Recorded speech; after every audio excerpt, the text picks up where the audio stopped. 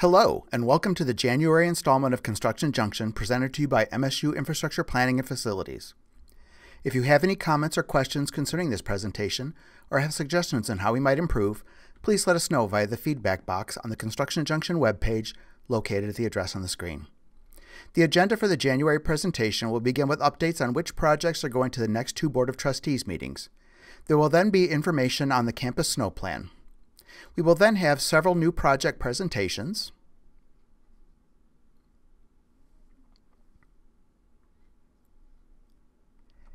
And lastly, we will have updates on various ongoing projects.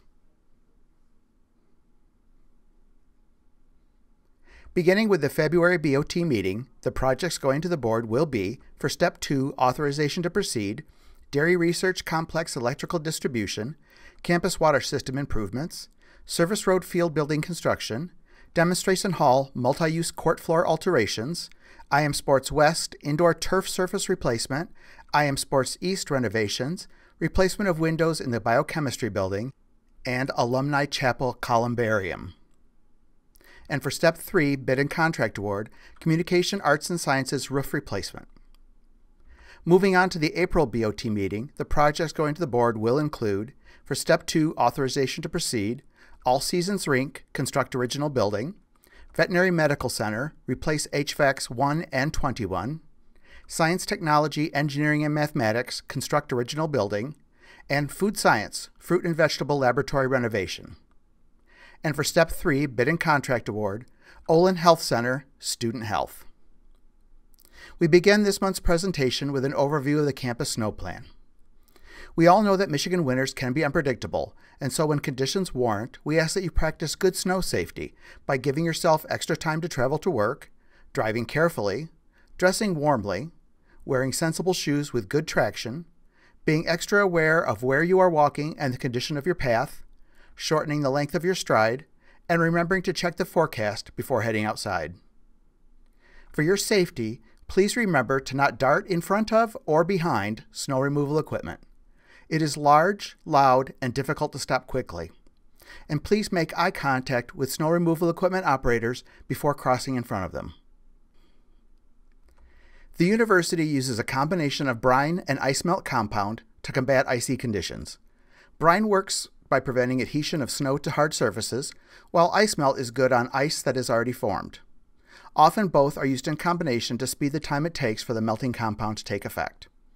If you see any icy spots on campus, please report them by calling Contact MSU at 355 1855. Please remember that it does take time for ice melt compound to take effect. We ask that the campus community partner with IPF crews to help ensure everyone's safety by applying ice melt compound to areas outside of building entrances if they see slick spots. This helps avoid incidents until our crews have had a chance to clear the area. There are marked buckets of ice melt compound available at all entrances for this purpose. However, we also ask that you please be judicious with your use of ice melt in order to minimize the environmental impacts. Please do not park so close to sidewalks that your vehicle's bumper hangs over it. This makes clearing the sidewalk with our motorized equipment impossible. We also ask that you avoid parking in sections of lots that have not yet been cleared, either parking in already cleared areas or waiting for our crews to finish clearing before parking. We remind everyone that parking is prohibited in residence hall loops from 2 to 6 a.m. Our crews have a formidable task ahead of them after a snow event, and keeping these areas free from vehicles helps removal efforts go more smoothly and quickly. Again, if you see icy or dangerous spots on campus, please report them to Contact MSU at 355 1855. For more information about MSU's snow removal plans, visit ipf.msu.edu. There you can find information on snow and ice removal services, as well as our environmentally green efforts. We thank you for helping us keep MSU safe during the upcoming winter season.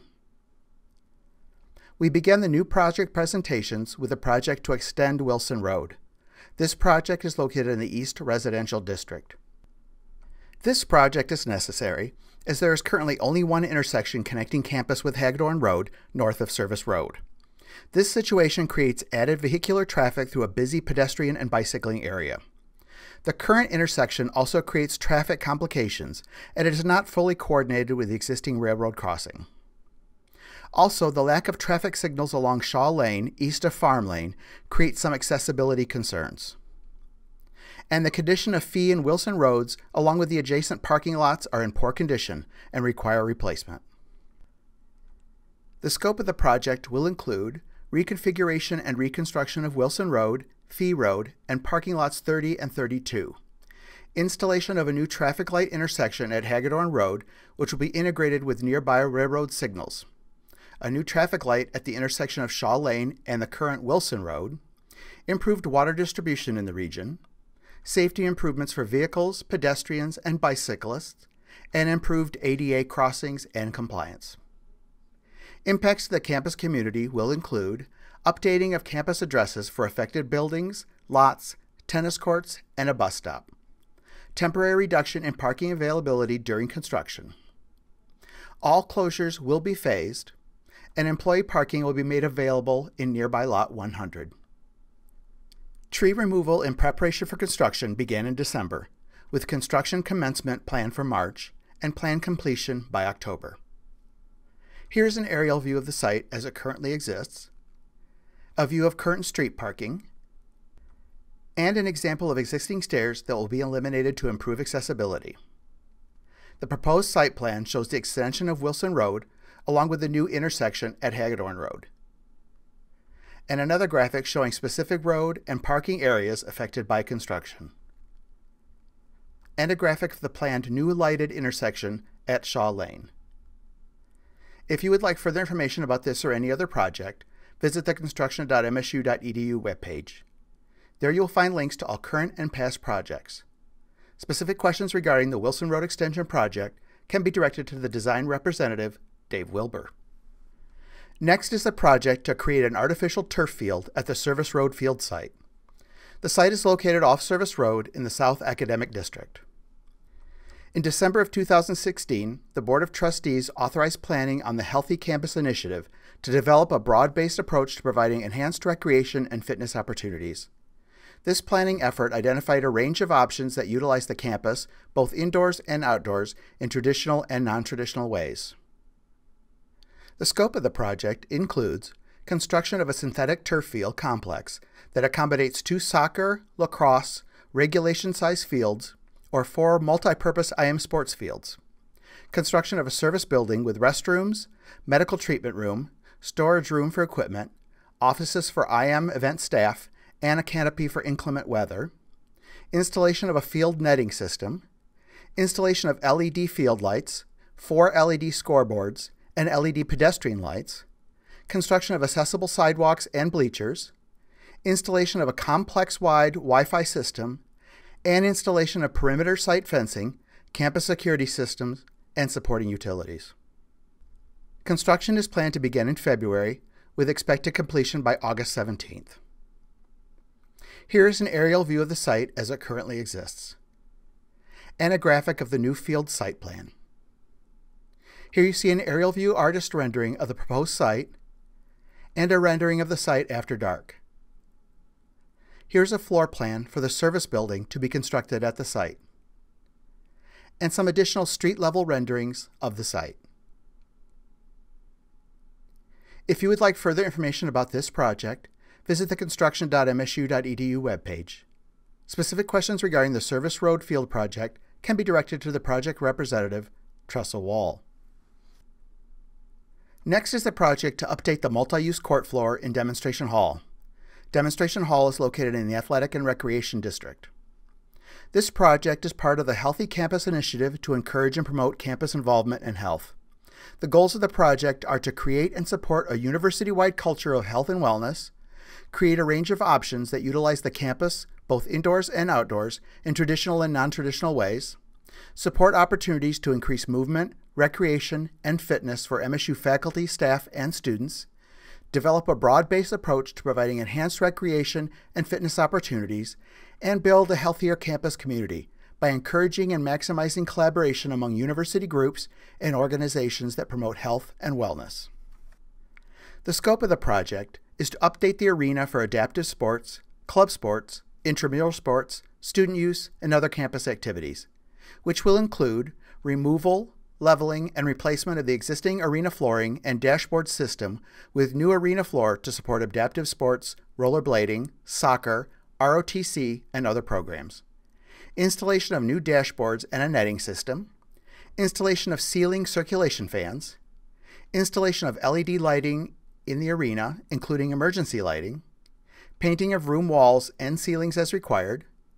Removal and abatement of ACM floor tile and miscellaneous mechanical piping upgrading of east restrooms, men and women's, to current codes, and miscellaneous architectural, mechanical, and electrical items.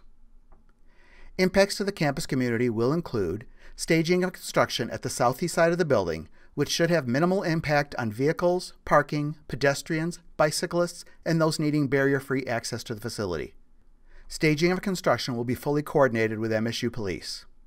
Construction is scheduled to begin in May, with expected completion by August 17th. Here you see the existing floor plan and the floor plan showing the proposed renovations, a photo of the current site conditions, and an artist rendering of the proposed renovated areas. If you would like further information about this project, visit the construction.msu.edu webpage. Specific questions regarding the demonstration hall project can be directed to the project representative, Scott Gardner. Next is the project to replace the indoor turf surface in room 161 of IM Sports West. IM Sports West is located in the Athletic and Recreation District. This project is part of the Healthy Campus Initiative to encourage and promote campus involvement and health. The goals of the project are to create and support a university-wide culture of health and wellness, to create a range of options that utilize the campus, both indoors and outdoors, in traditional and non-traditional ways, support opportunities to increase movement, recreation, and fitness for MSU faculty, staff, and students, develop a broad-based approach to providing enhanced recreation and fitness opportunities, and build a healthier campus community by encouraging and maximizing collaboration among university groups and organizations that promote health and wellness. The scope of the project is to convert Room 161 into an indoor artificial turf center for club sports, intramural sports, student use, and other campus activities, which will include the removal and abatement of the existing AstroTurf flooring system and installation of a new artificial turf flooring system, replacement of existing doors, and installation of nine additional egress doors to accommodate campus and emergency operations to code, installation of ceiling circulation fans, fire suppression system, and upgrade of existing HVAC units to code, installation of a lacrosse practice throwing wall and netting system, installation of a motorized roll-up curtain wall in the middle of the room, installation of an LED lighting system including the emergency lighting, painting of walls and ceiling, and miscellaneous architectural, mechanical, and electrical items. Impacts to the campus community will include staging of construction at the northeast side of the building, which should have minimal impact on vehicles, parking, pedestrians, bicyclists, and those needing barrier-free access to the facility. Staging of construction will be fully coordinated with MSU Police. Construction is scheduled to begin in March, with expected completion by August 17th. Here you see the existing floor plan and the floor plan showing the proposed renovations, a photo of current site conditions, and some artist renderings of the proposed renovated areas. If you would like further information about this project, visit the construction.msu.edu webpage. Specific questions regarding the IM Sports West renovation project can be directed to the project representative, Scott Gardner. Next is the project to renovate the indoor track at IM Sports East. IM Sports East is located in the Eastern Residential District. This project is part of the Healthy Campus Initiative to encourage and promote campus involvement and health. The goals of the project are to create and support a university-wide culture of health and wellness, create a range of options that utilize campus, both indoors and outdoors, in traditional and non-traditional ways, support opportunities to increase movement, recreation, and fitness for MSU faculty, staff, and students, develop a broad-based approach to providing enhanced recreation and fitness opportunities, and build a healthier campus community by encouraging and maximizing collaboration among university groups and organizations that promote health and wellness. The scope of the project is to renovate the track and gymnasium to be more inviting for activities. This will include the removal of interior running track wall and installation of a handrail system to open the track area to the below gymnasium replacement of the existing track running surface, removal of the block wall separating the two gymnasiums, and installation of a motorized roll-up curtain wall. Installation of LED lighting system, including emergency lighting, painting of the gymnasium walls up to the roof deck and the track running structure, patching of the gymnasium flooring and reinstallation of the basketball backboard structural supports, tinting of the existing exterior windows around the running track, and miscellaneous architectural, mechanical, and electrical items. Impacts to the campus community will include staging of construction at the southeast side of the building, which should have minimal impact on vehicles, parking, pedestrians, bicyclists, and those needing barrier-free access to the facility. However, the staging will require the closure of the sidewalk along the east side of the Wharton Center parking ramp, with a pedestrian detour in place. Staging of construction will be fully coordinated with MSU Police. Construction is scheduled to begin in May, with expected completion by August 17th. Here you see the existing first floor plan and the floor plan showing the proposed renovations. A rendering of current site conditions, and some artist renderings of the proposed first floor renovated area. Here you see the existing second floor plan and the floor plan showing the proposed renovations. A rendering of the current track conditions and some renderings of the proposed second floor renovated areas.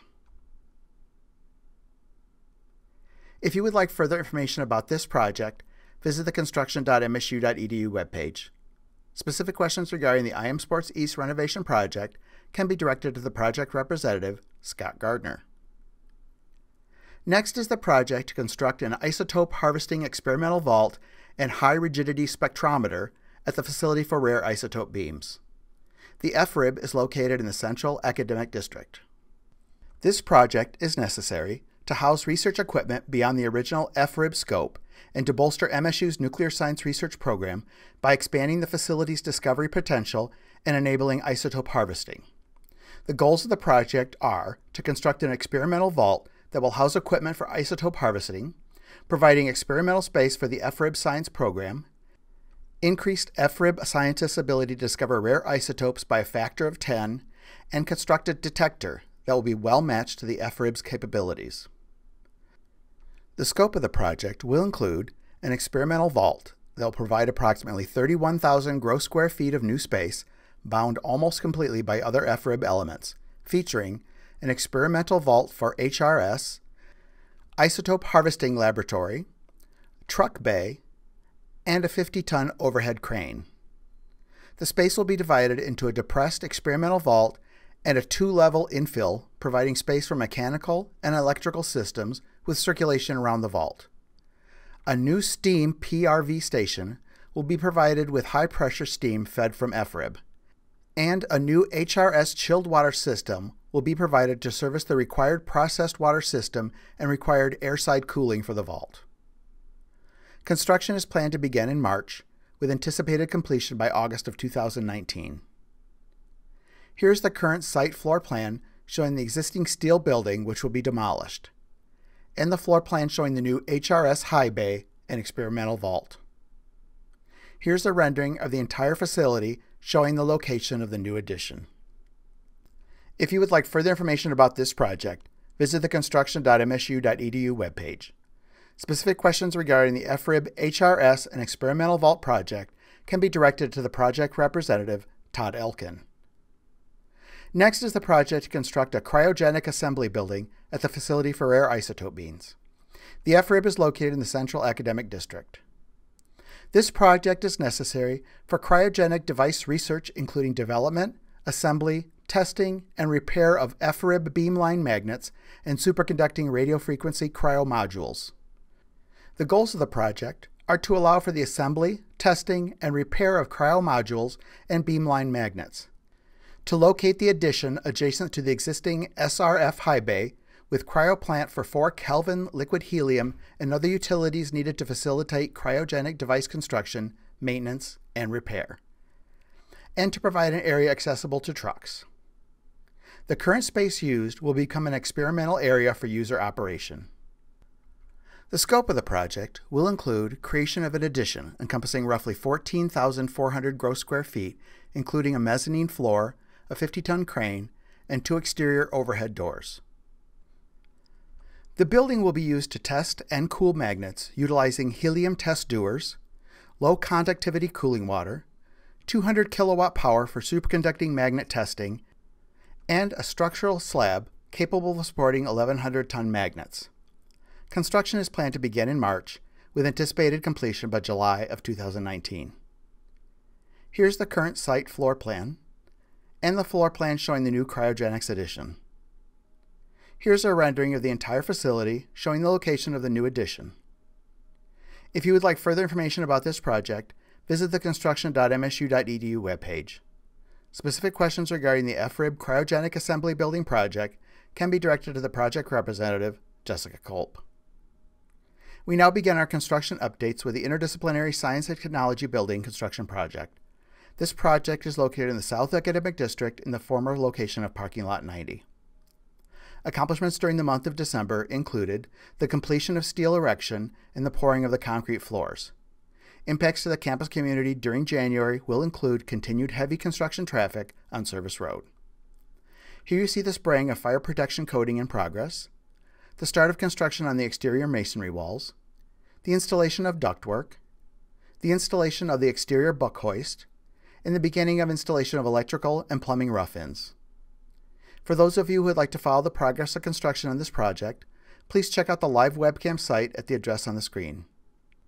If you would like further information about this project, visit the construction.msu.edu webpage. Specific questions regarding the ISTB project can be directed to the construction representative, Carol Cool. Next, we have an update on the Business College Complex addition. The Business College Complex is located in the Central Academic District.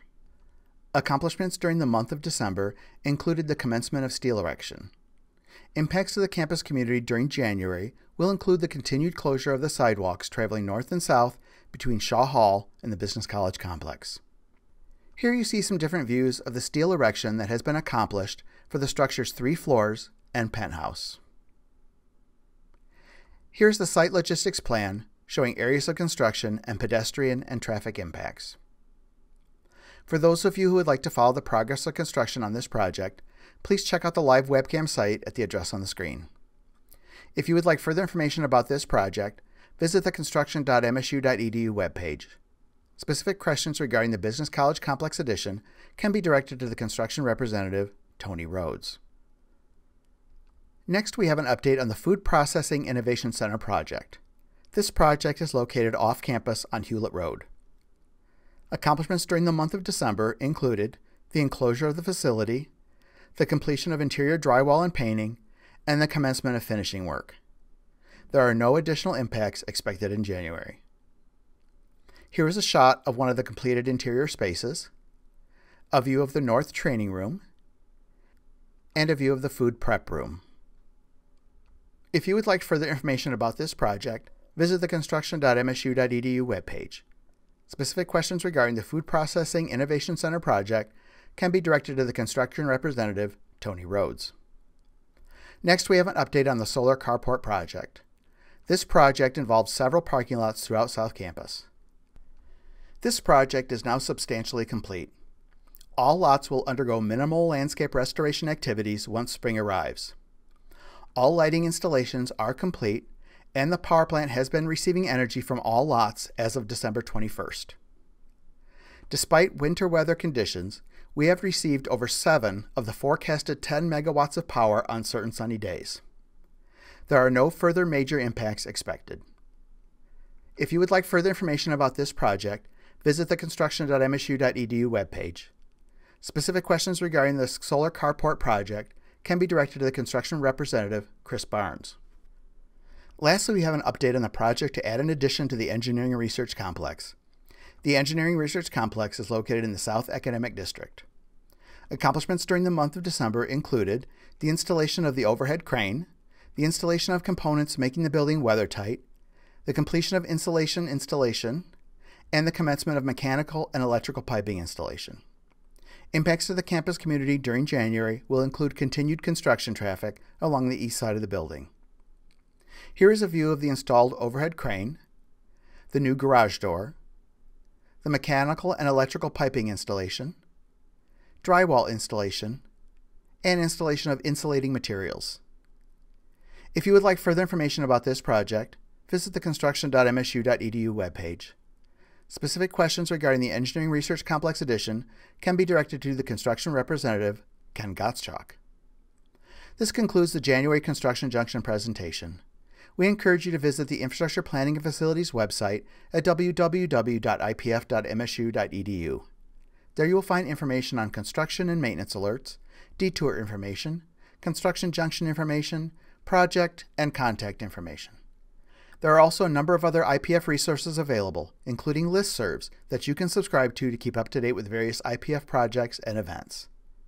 Stay connected with IPF via social media. Follow us on Twitter, like us on Facebook, watch our videos on YouTube, and follow us on Instagram. Construction Junction presentations will be made available on the CJ website around the 7th of each month. We thank you for taking the time to check us out, and we hope you'll visit again.